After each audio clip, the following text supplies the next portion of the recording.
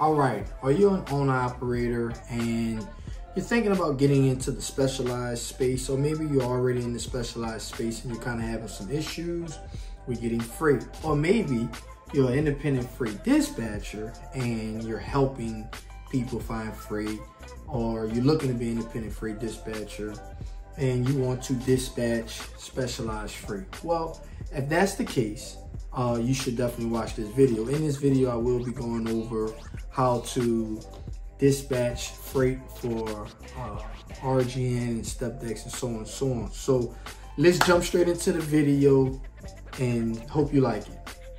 Let's go on ahead and um, talk about this trailer, all right? So what I have pulled up is a typical RGN trailer is, you know, it's not a, it's a real basic, basic setup. This is what they call a mechanical neck, right? So right around in this area here is not hydraulic, is is mechanical, okay? I'm not gonna get too, too deep into the woods and the weeds, I'm sorry, with this. I'm just gonna give you a basic, basic breakdown on these things. I believe that dispatchers, if you are in a dispatcher and you're you know, helping owner operators or drivers find loads, you should have some type of visual of what's going on when they have to put these loads on these trucks, right? It'll make your job better and it'll make the uh, the driver jobs easier. Um, you know, just all the way around, things will be, you know, way better. All right. And for any owner operators that's looking to get into this um, space and they might not even have their trailer yet, you know, this could be an introduction for you as well. But anyway, let's get straight into it. This is a mechanical neck. I'm assuming this is probably, you know, 29 in a well, something like that. This is a tandem, meaning they only have two wheels, no different than a dry van, typical dry van. All right. Uh, when I say in the well, I'm talking about right up in here, right? Um, you know, right up in this area here at the bottom. So typically it'd be about 29, anywhere from 26 to 29, maybe 30. Uh, right up at the top right here. You know, typically anywhere from seven to 10 feet, something like that. Same thing with the back, right?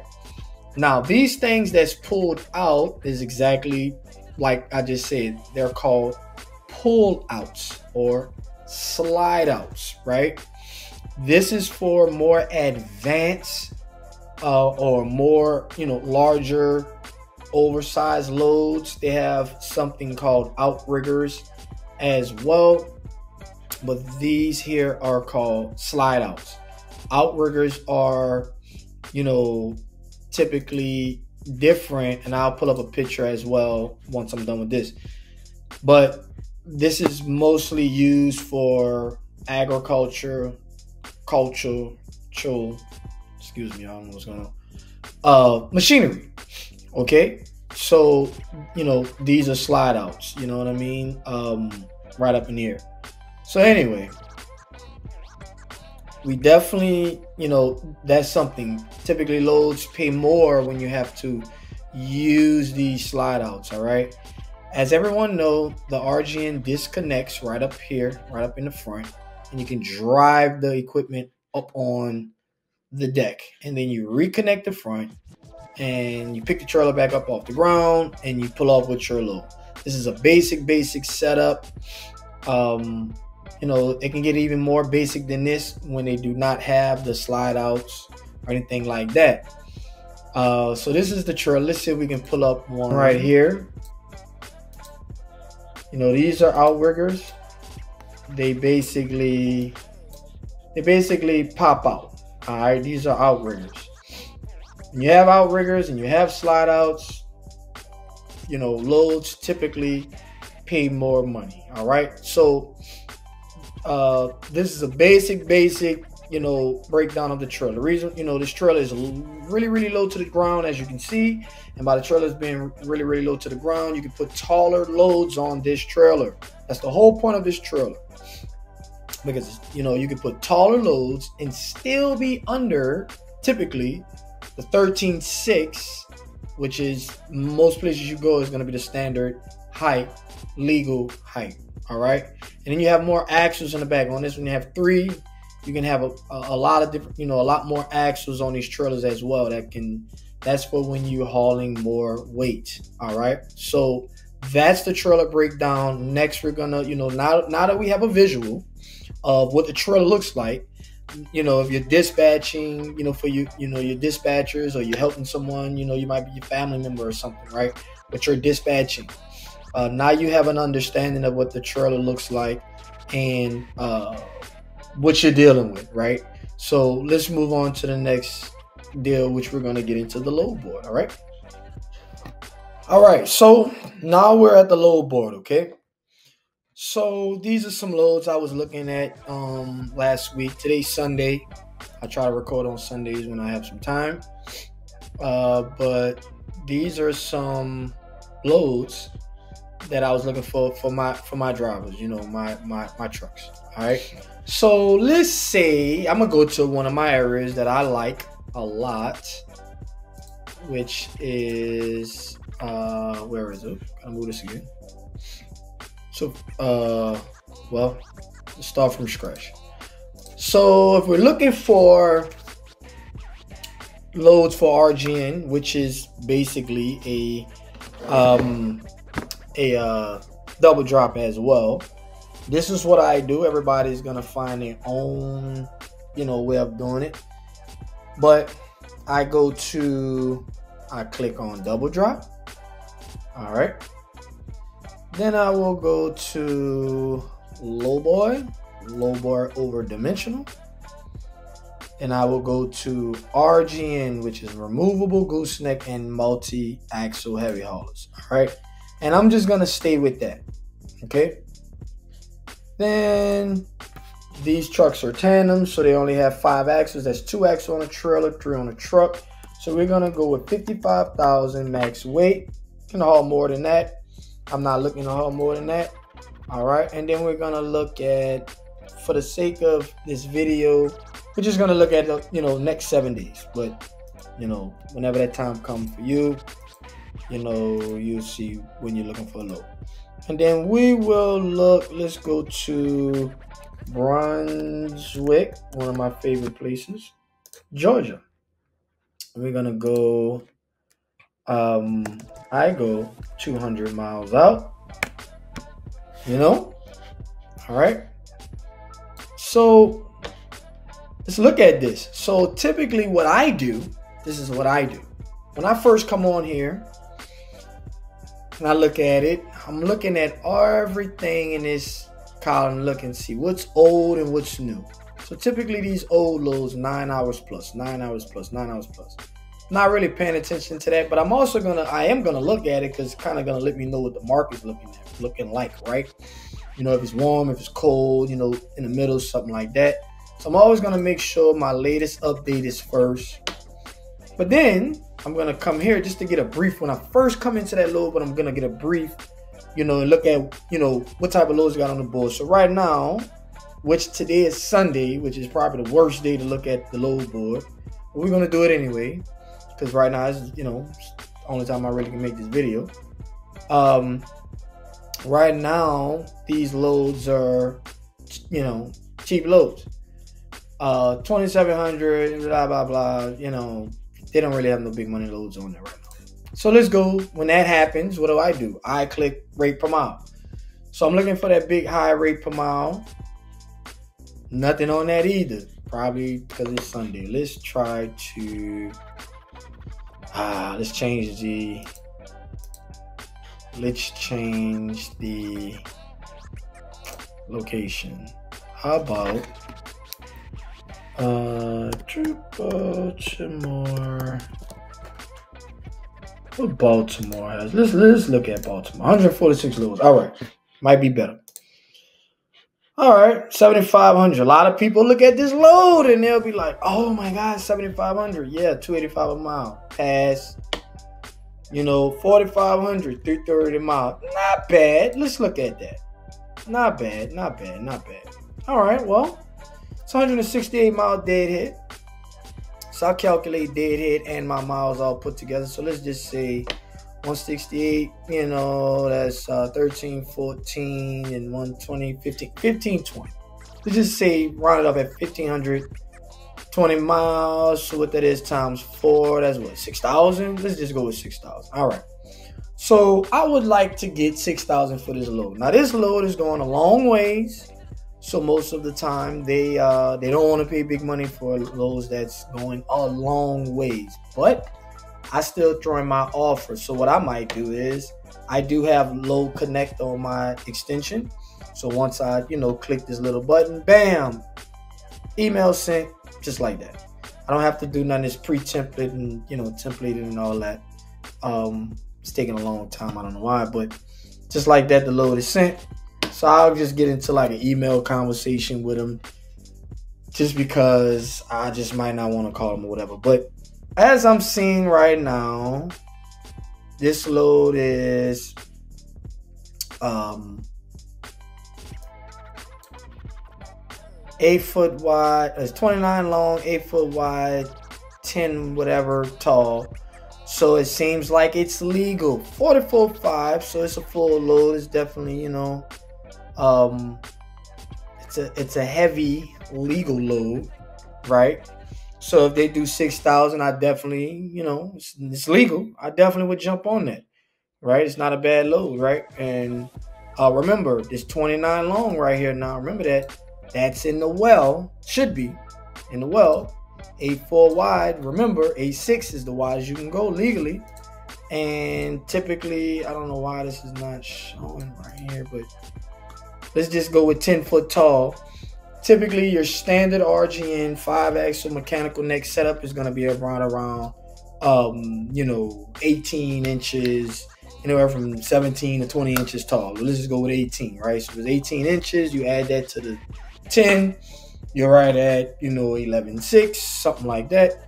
You know, um, but let's just go into some other loads. All right, well, let's go with this one. A lot of people, they'll look at this and oh man, $4,200 for 272 miles. Well, 54,000 pounds. We're not scared of that, but it's 55 foot long. Oh, okay. Well, let's see. 55 feet, 3 inches long by 12 wide, 11 too high, 54,000 pounds. Must have dunnage to block up, cannot stretch out. Mm, all right.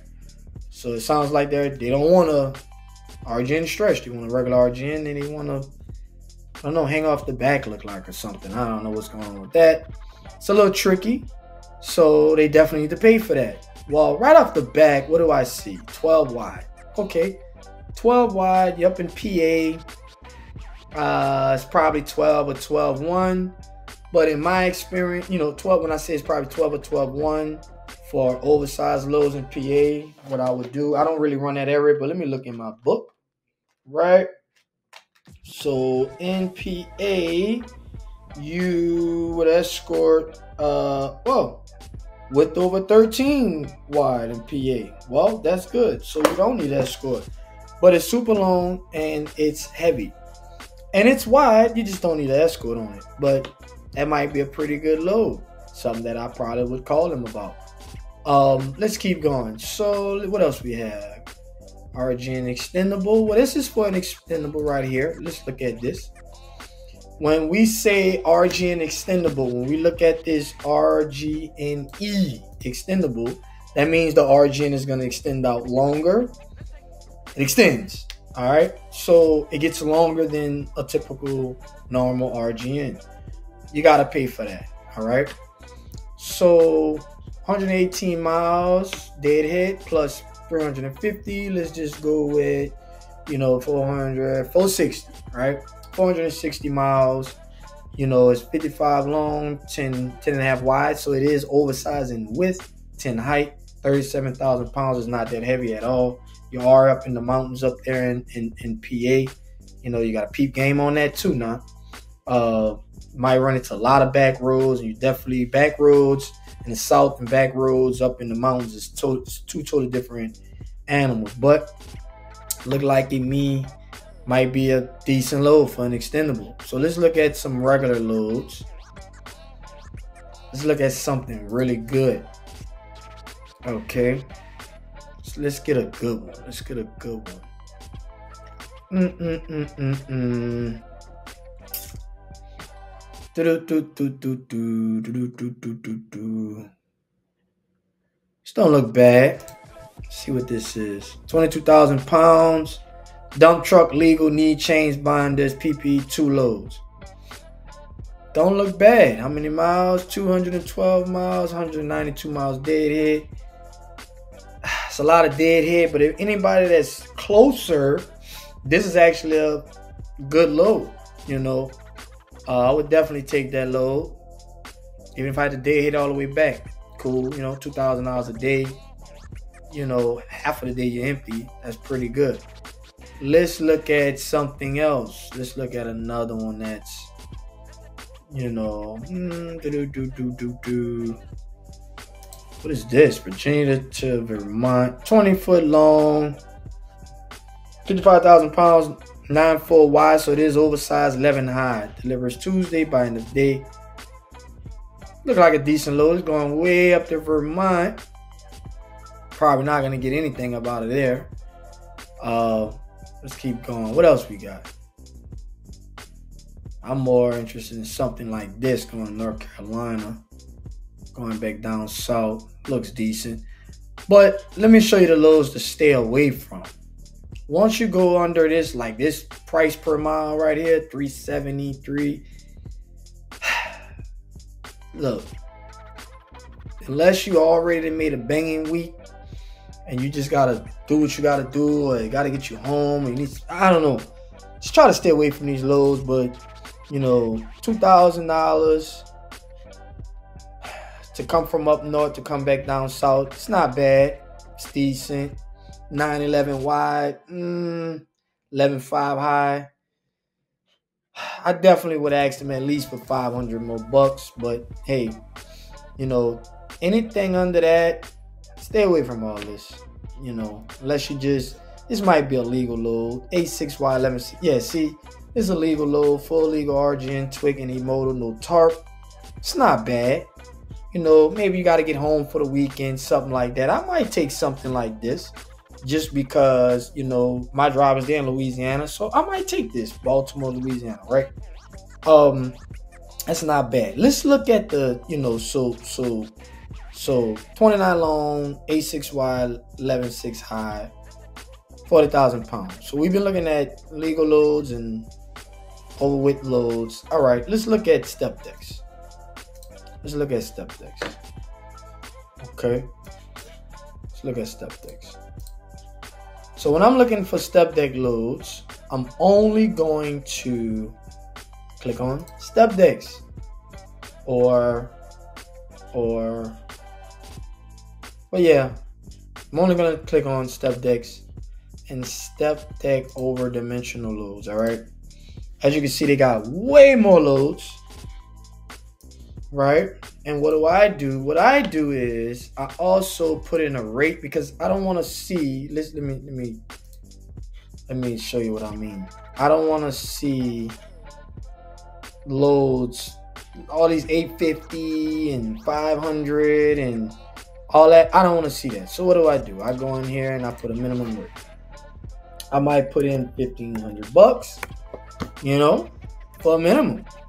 All right, so now we got this minimum rate. Okay, then once again, y'all already know I'll come in here and look at last update, and I'll kind of, you know, track it from there. But let's go with rate per mile. Of course, that's what I like the most. What this is, you know, let's see. This might be a good good low. No tarp, no headboard. Stops in Lexington, Virginia, Culpeper, Virginia, Marshall, Virginia. Uh, too many stops. I, I don't even. I, don't need to look at it.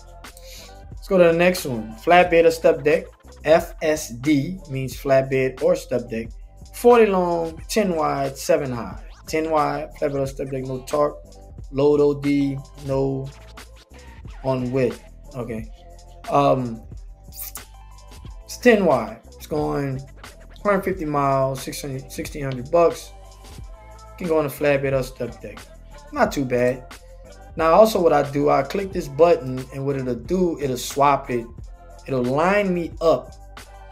Now I have step de- step decks coming first instead of flatbed or step decks. Right? I don't know why Truckstop is like this, and they don't only show step decks. If any of y'all know how to make it only show step decks and nothing else, then please comment on the video and let me know. But as of right now, I don't know how to do it, so this is the best way that I do it. All right. So step deck RG pops up first. Cheap, cheap, cheap, cheap, cheap, cheap, cheap, cheap. Whole screen that I'm looking at cheap right now. So let's just keep scrolling, right? I, am not interested in none of this. Now I might be interested in this. 4 day long, 8 wide, 10 high. Okay, payment by delivery, text, da da da. Typically, when you kind of see a bunch going on in the com, I mean, in the in the in the notes saying we'll quick pay you, we'll pay you through Zelle, through Cash App, payment, blah blah blah blah blah. That mean their credit is probably bad. So if I was to go over, you know, another screen and check their credit, they might not have good credit. Not necessarily like they don't pay their bills, but could be just because they're a new broker, you know. Uh, but let's just keep going. So that doesn't look like a bad load. And typically, when their credit's not good, they will pay more money because they need you to take the load, or they're scam. So be careful. You know. But let's just keep going. So none of this is good. None of this is good. I don't. I wouldn't want none of this. This here looks decent. Step deck. PA to Louisville, Ohio. Let's look at it. Big supply box, junk box will require wide permit. How wide? 10 wide, 40 long, 10 high. Not bad. 40,000 pounds. I would take this. I would take this. Yes. I would definitely take that and be gone with it. And then if I have anything on my top deck, I would try to see if I can get a partial going that week too. You know, I'm trying to make that paper, that cash flow. Let's look at this. This ain't, you know, too bad. 321 a mile, but it's coming from up north, coming back down to the south. It's going to a decent spot, which is Hazlehurst, Georgia, which has a lot of freight coming out of there for deck, a lot of deck freight. And also, you're not too far from uh, Savannah and Brunswick and all that. All right, you're probably about an hour, hour and a half out. So it says picking Chesapeake, Virginia, 810 wide. That ain't nothing when it comes to watch. 46,000 pounds, a little heavy. But it ain't bad. Let's keep going. 347 a mile. Um, step deck, Elizabeth, New Jersey. Yeah. It's alright. Going to Detroit area. That ain't bad. Probably, you know, it's a lot of coils and metal over there. Let's look at this. Maryland to Westbrook, Maine. They need to pay more than that on that. Going way up there. They pay about five, six dollars a mile on that. TWIC, eModal, wheel loader, and mini excavator. Yeah, and they trying to yeah need to pay more money on that for me anyway. Um, but you get the gist of it. You know, um, I'm not gonna in this particular video. I'm a, I'm a what I'm gonna try to do, y'all, is make like a series or something. In this particular video, I'm not gonna go too deeper than this. I'm probably just gonna cut it right here. Um, in the next video, what I would do is I will get into more of the uh, if you got a step deck or flatbed, 53 foot, how do you run partials, you know, all these type of things. But for the most part, I just gave you a basic rundown on how you deal with RGN freight, step deck freight, and what type of loads you're looking for and what type of loads to stay away from. Uh, please don't haul this cheap freight. It affects all of us. It's not just you. You will go out of business if you keep hauling cheap freight. One day it will happen. Try not to do that. I know you got to do what you got to do to make your money and pay the bills, but at the same time, understand that you will not survive running cheap freight. So do not do it. If you need any help with anything, you can reach out to me. All you have to do is text 985. Oh, If you need help with anything, all you have to do is text 985 326 1699. I do help freight dispatchers, I do help owner operators, and I do help people that's looking to be an owner operator. Text me, let me know what you're looking for. Maybe I can help you, maybe I can, maybe I can refer you to somebody else, or maybe not. Well, anyway, until the next video, see you soon. Peace.